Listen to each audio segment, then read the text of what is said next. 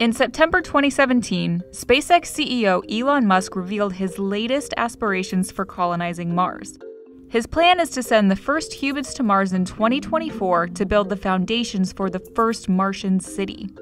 But is Mars really the best place for humans to settle? Some scientists think that we should be looking elsewhere. I'm Amanda Hendrix. I'm a senior scientist with Planetary Science Institute. First of all, I, I don't want to be too negative about Mars. I like Mars. I do think we should go there, and humans should go there to visit and check it out and do science. I just don't think it's a good place for living for long term. And the main reason is because of the radiation problem. And Mars uh, offers no natural protection against the galactic cosmic rays.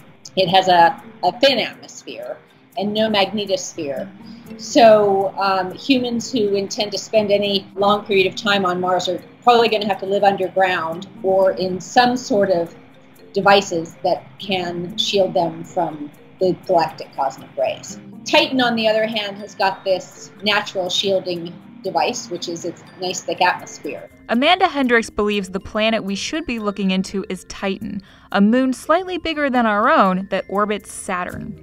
Because it's such a more um, appropriate environment for humans. Titan is really unique because it's a moon and it has a solid surface. It's mostly an icy moon, but it has this thick atmosphere. And it's uh, unique because there's no other moon in the solar system that has such an atmosphere.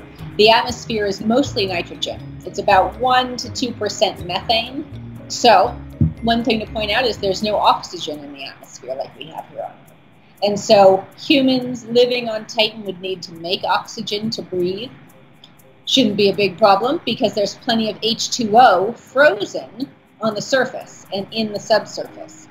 So humans could derive oxygen to breathe um, without a big problem.